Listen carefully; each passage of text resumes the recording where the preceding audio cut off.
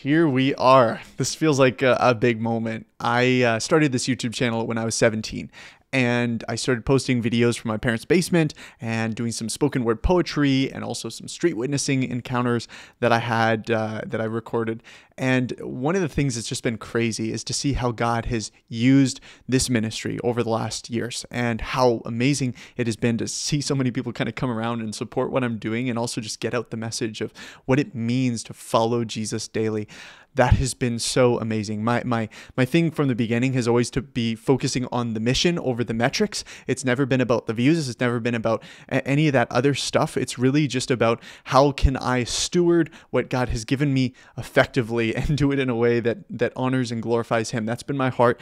I'm really just about the simplicity of the gospel. Like that's my heart. I just want to share Jesus with people that they can find forgiveness and and redemption and a restored relationship with God and and be invited into the inheritance that God offers and eternal life and into his family. It's, an amazing thing that I just never get tired of talking about. And so, to give you a little bit of an insight, I've been kind of in between uh, working this job part time and, and another job part time just over the last few years, especially since COVID. Um, this more support has come in, which has been amazing.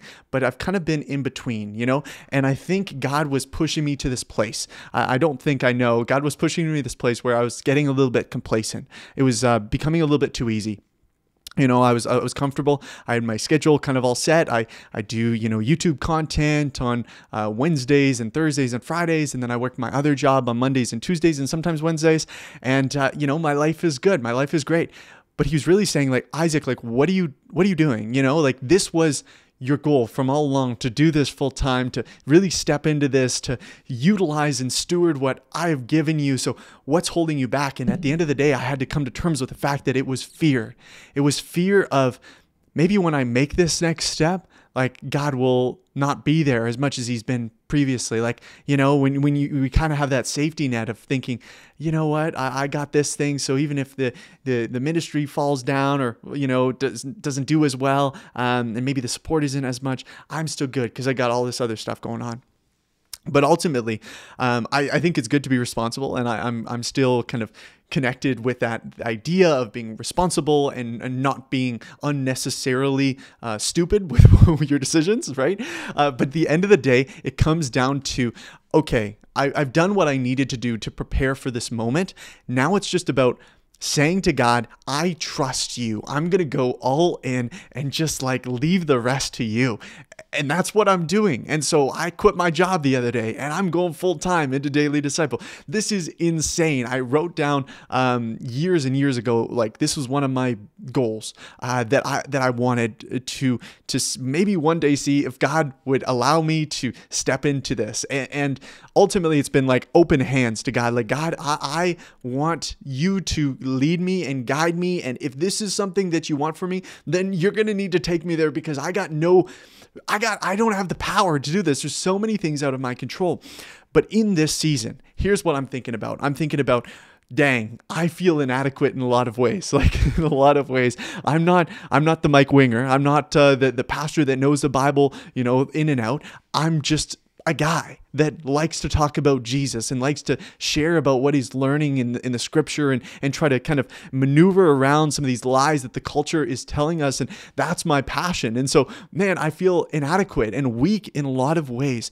But one of the verses that really helps me, that has been an encouragement to me over the last few years, and especially over this last few days as I've kind of come to this point of quitting my job and going full in on Daily Disciple, has been Second Corinthians uh, 12 9. And here it is. But he said to me, My grace is sufficient for you, for my power is made perfect in weakness. Therefore, I will boast all the more gladly of my weaknesses, so that the power of Christ may rest on me. So, in the midst of that, I'm thinking, okay, I am weak. I have tremendous weaknesses, but I will boast all the more gladly of my weaknesses because it will point the attention, the glory, the spotlight back on God because He is the one who's doing it. It's not me, it's never been me. And so ultimately, right now, here's the goal, here's the mission is to be faithful with what God has given me. He's given me this audience, He's given me this platform, and I want to use that and steward it for God's glory, not my own. That's been the mission from the beginning. And so I guess what I would ask you guys is if it's something that on your heart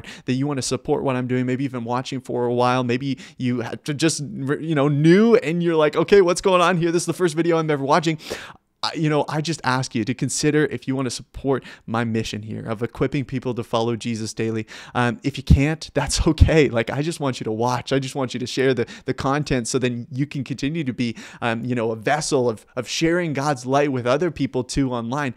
That's my mission. That's my heart. And so, for those of you who do want to help support me and what I'm doing, and and that was one of the things that was challenging to think about pursuing this career or, or passion or, or mission or whatever was man I, I really have the desire in my heart to get married one day and provide for my family provide for my wife and and be that godly man. But in the midst of that desire, it's been about trusting that God is going to guide me. He is going to provide for me. So you through your support, you are kind of playing a part, not kind of, but you are playing a part in being a blessing in my life and helping me continue to do that. So, enough with the pitch. I just want to say I'm so excited about where this channel is going, uh, where the ministry is going in general. If you're not familiar, I post videos on Instagram and TikTok as well. You can follow me there at It's Isaac David and you can continue to connect with me on a more personal level on those platforms. And guys, I'm just this is crazy. This is so exciting.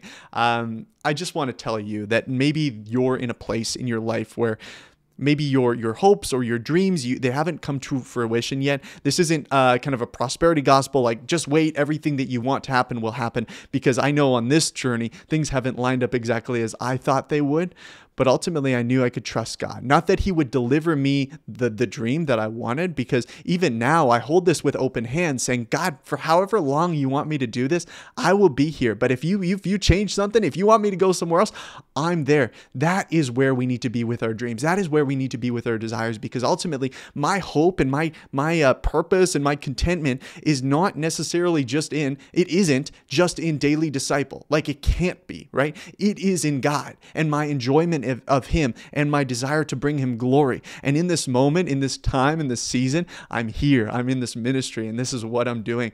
Um, but I want to hold that with open hands to say, God, you guide me to where you need to guide me. And so for you in your life, hold your dreams and your desires with open hands because who knows what God's going to do with them, but you know that His plan is best. Okay, that's uh, that's it. So thanks for watching, and I'll see you again.